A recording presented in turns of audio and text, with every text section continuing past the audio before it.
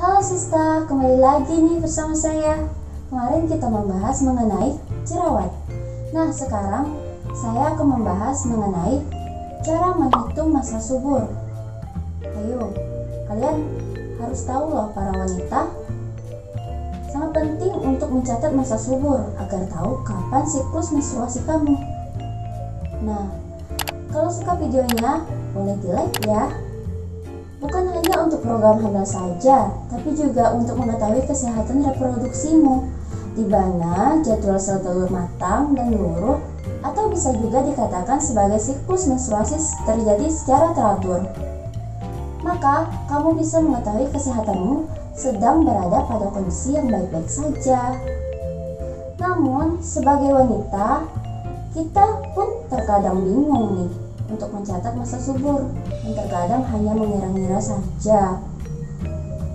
Nah, hari pertama dari menstruasi adalah saat dinding rahim meluruh dan darahnya keluar ya.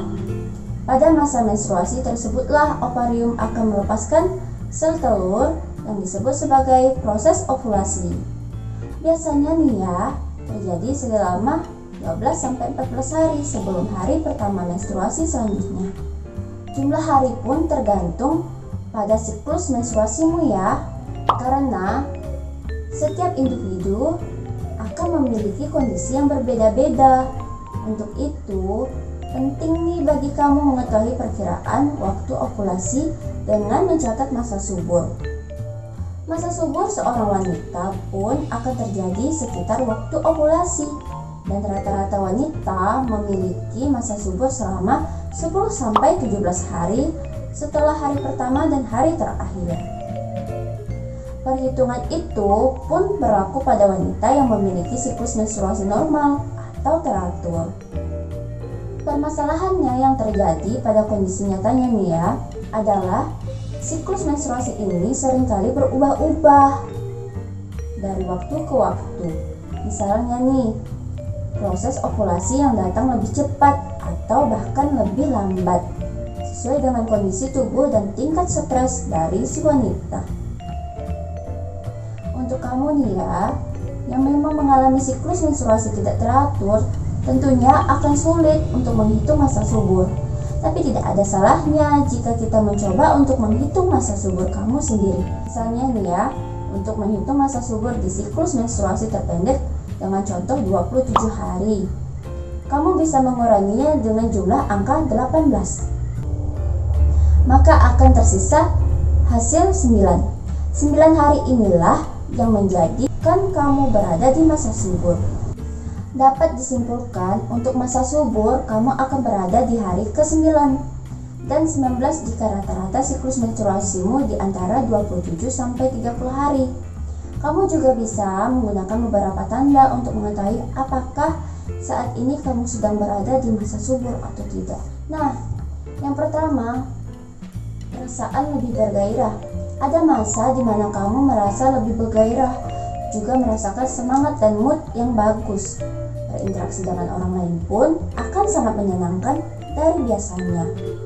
Yang kedua, nyeri ringan hingga berat di area perut atau punggung Pernah nggak setelah beberapa hari menstruasi kamu ngerasain sakit di area perut dan juga salah satu bagian punggung? Nah, hal itu terjadi karena kamu sedang berada di masa ovulasi, di mana sel telur sedang dikeluarkan dan bisa menjadi salah satu indikator untuk mendeteksi masuknya masa subur seseorang loh. Yang ketiga, nah Nih, tanda yang ketiga nih sangat jelas, yakni adanya lendir yang keluar. Nah, tanda ini sepertinya keputihan namun berbeda. Bentuknya seperti lendir dan keluar dari mulut rahim atau bisa juga dikatakan sebagai lendir serviks dan memiliki pertanda sedang terjadinya ovulasi. Yang keempat, meningkatnya suhu ketika bangun tidur pagi Suhu tubuh ketika kita bangun pagi, di mana rata-rata suhu akan berada di 35,5 sampai 36,6 derajat Celcius. Tapi jika kamu sedang berada di masa subur nih, maka suhu tubuh saat kita bangun pagi biasanya akan lebih tinggi dari angka biasanya. Yang berarti proses ovulasi pun terjadi. Nah, itulah informasi seputar menghitung masa subur ya sis. Bagaimana menurutmu? Komen ya jika kamu punya cara hitung masa subur sendiri sehingga kita bisa memperkirakan dan menghitung siklus menstruasi dan juga merencanakan kehamilan. Selain itu, selain itu, menghitung masa subur pun bisa menjadi salah satu cara kita terus memantau kesehatan reproduksi. Jika memang kamu menemukan gejala atau perhitungan yang tidak tepat, maka sebaiknya tetap konsultasi kepada dokter ahlinya ya. Nah, oke, okay, sekian informasi mengenai cara menghitung masa subur. Next, kita akan membahas masalah kesehatan yang lainnya. Boleh kalian kasih saran, kita akan membahas apa lagi selanjutnya. Terima kasih telah menonton video ini. Jangan lupa like, comment, share, subscribe, dan nyalakan lonceng. Terima kasih.